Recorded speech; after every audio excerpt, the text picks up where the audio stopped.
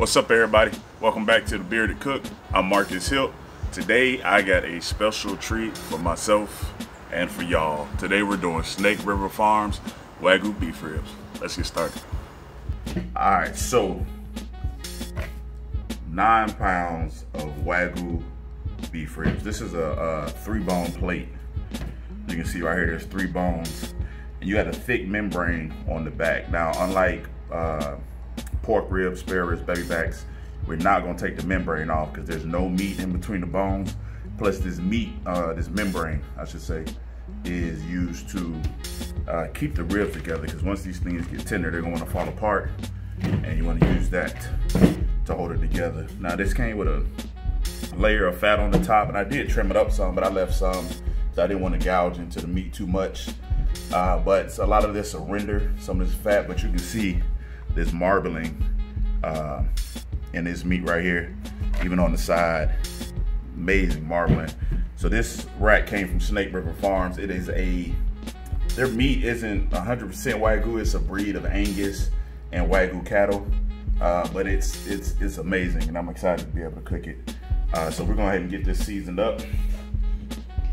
So as usual with beef, I like to use Worcestershire as a binder. It just kind of adds a little umami to the to the meat. And umami is that flavor that you just can't describe when you bite into something. That flavor that you just say, mmm, this is good. That's what umami is. So give it a little meat massage because, you know, I like to massage my meat. And uh, the next thing we're gonna do is I got some black garlic. Now this is new to me.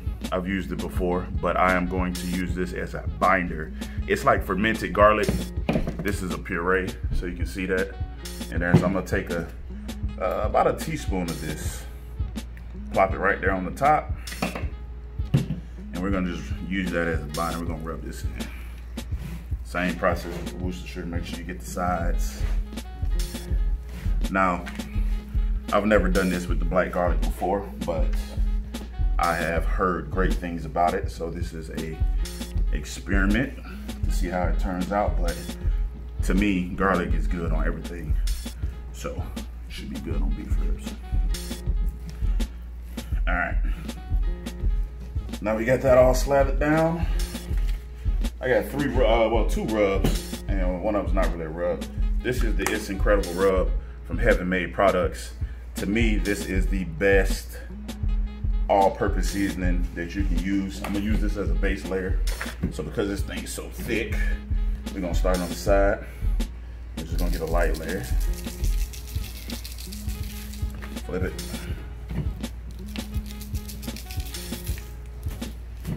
Get all sides of it. Even the bottom. And then we're gonna start on the top. Start shaking. And again, we just want a little light layer. We're not gonna go too heavy. This is just gonna be a base layer. Like so. And then this is um, Black Ops brisket rub from Oakridge Farms or Oakridge Barbecue. I put it in the shaker because it comes in a uh, like a little foil package. So it's a little bit easier for me to use the shaking on. So I just threw it in the shaker. And I'll include a link to all the seasons I use down there in the description. But same thing. Get the sides first. I'm cooking this on a big green egg today uh, using olive and apple wood. Olive gives a really good flavor to beef.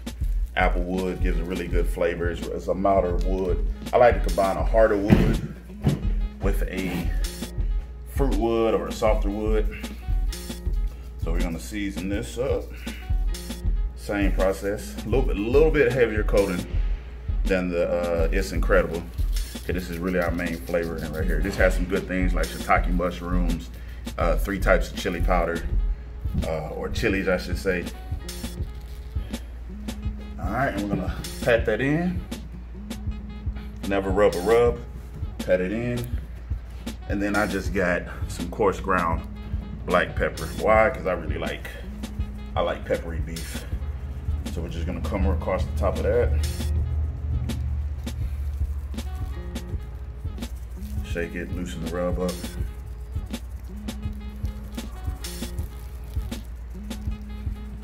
Shake it, loosen the rub up. I'm not gonna. I'm not so much worried about the sides with the pepper, because uh, it's really just for building bark. I may put some on the side, but right now I'm not worried about it.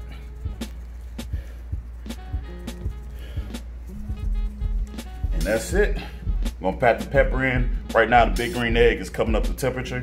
So we're gonna let this sweat maybe 15, 20 minutes till we get to 275 degrees, which is where we're cooking at today. Uh, we'll set it and I'll bring y'all back when we're ready to put it on the grill. All right. All right, so we're about 250, we're about 25 degrees away from target temperature. So we're gonna go ahead and get these beef ribs on. We got some smoke going, it's clearing up on me. What I like to see normally is a thin blue smoke, uh, but what's also important is the smell. You don't want that, you don't want it to smell like charcoal. Right now I'm smelling that olive and apple wood it's caught. So we're gonna go ahead and get these beef ribs on. Get this big boy on here. We're just gonna sit it right in the middle. And that's it. We're gonna let it sit in here for about uh, about two hours before I come back. And at that time, I'll spritz it. Now I'm gonna spritz with um, I'm gonna spritz with some beef stock, maybe uh, with some pickle juice added. I like the pickle juice thing. If not, I may just spritz with plain water. Uh, but outside of that, we're gonna let this roll for two hours, and we'll start spritzing, spritzing every 45 minutes, and I'll bring y'all back on the first spritz. All right, so it's been right about two hours. You see we got that olive and applewood smoke going. Now before, when we put it on, uh, it was white, uh, but now as you can see, I don't know if you can pick it up on camera, but it's got that thin blue smoke going. That is what you want. If you're billowing thick white smoke uh, out of your grill, that's not a good thing. Open your grill, figure out what's going on. So I got um, some uh, unsalted beef stock, a little bit of Worcestershire, Worcestershire, Worcestershire, whatever, this liquid with a W on it. Uh, we're gonna check these out. Now I haven't looked at them at all, so if it's messed up, we're gonna find out it's messed up together.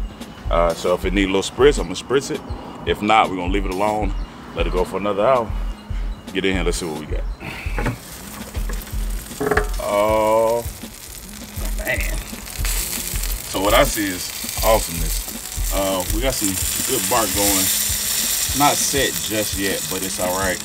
We got some pull going. Now that's where that uh, that little fatty part was that I didn't trim all the way. So as you can see, it's pulled up a little bit.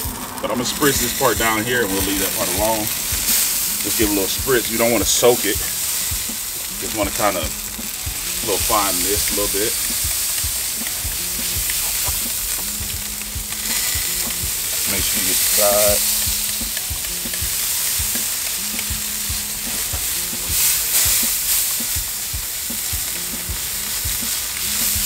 And that's it. You can see we already got some pullback going. That bone is probably gonna fall out, but hey, we eating this not for competition. And we're gonna close it up and uh, come back. I usually like to spritz every 45 minutes to an hour, uh, but we'll just take a look in about 30, 35 minutes. Uh, and if it needs spritz, we'll spritz again. Probably not gonna bring y'all back each and every time for that. Uh, what I will do is bring y'all back when I get ready to wrap. We're gonna wrap in butcher paper today. Uh, so stay tuned. All right, so we've been uh, been smoking for about five and a half hours. I've spritzed it every 45 minutes, starting at the two hour mark. Uh, so I took a peek at it. I'm not gonna lie, it looks prehistoric. So I want y'all to get in here and take a look. So what we get ready to do now is uh, wrap it in butcher paper, and then after I wrap it in butcher paper, I'm gonna toss it in my pellet grill. It doesn't really matter once you wrap it up where you put it. You can put it on your pellet grill, you can put it back on the grill, or you could put it in the oven. Don't tell nobody you put it in the oven. The die-hard barbecue people will flog you in a public square. But let's get it, take a peek, and uh, show you what we've been working on.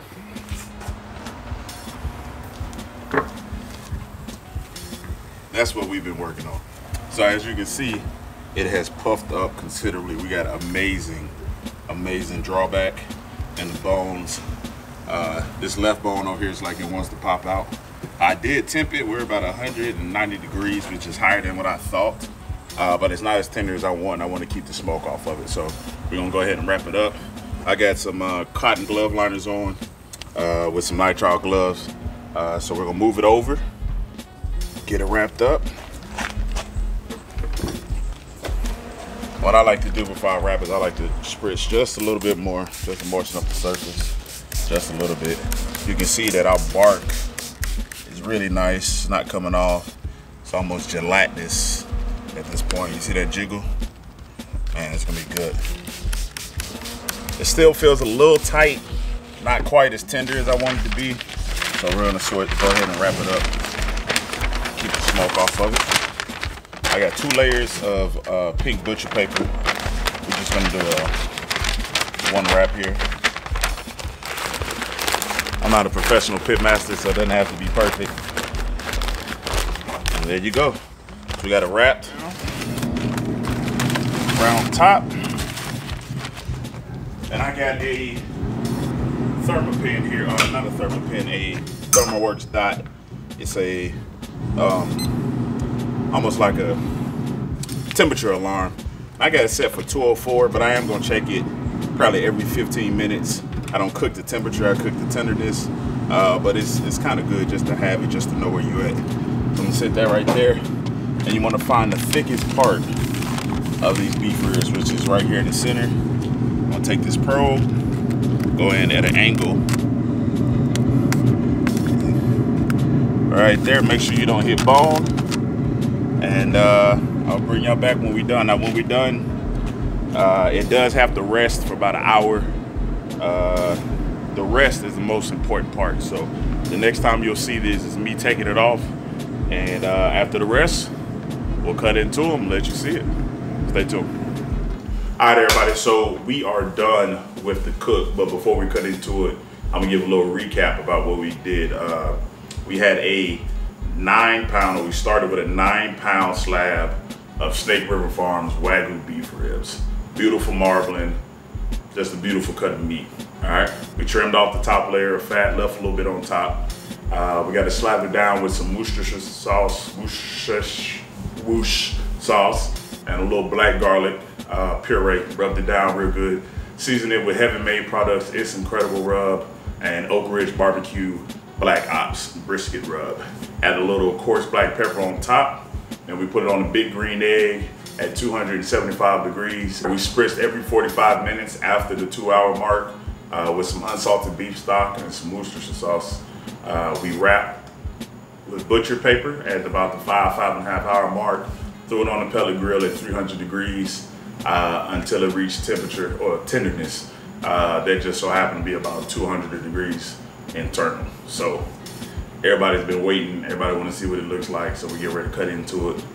Let's see. All right, so as you can see, we built a beautiful, beautiful bark on the outside. You see how gelatinous that is, the jiggle we got going.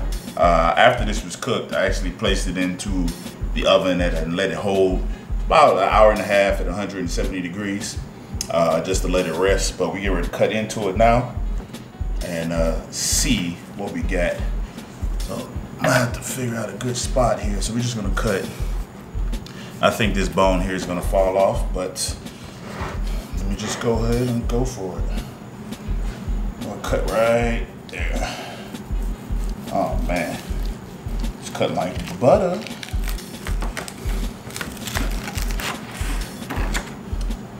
So, let me turn that around. Oh man, y'all see that? Juicy, look at that. All that moisture in there. I hate when people squeeze their meat, so I'm not gonna squeeze it, but just gelatinous. I'm gonna cut off this other bone here.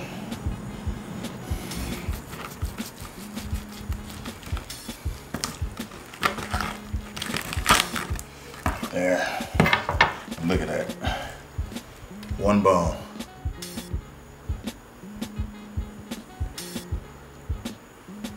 And there you guys have it. Six hours later, smoked Wagyu beef ribs from Snake River Farms.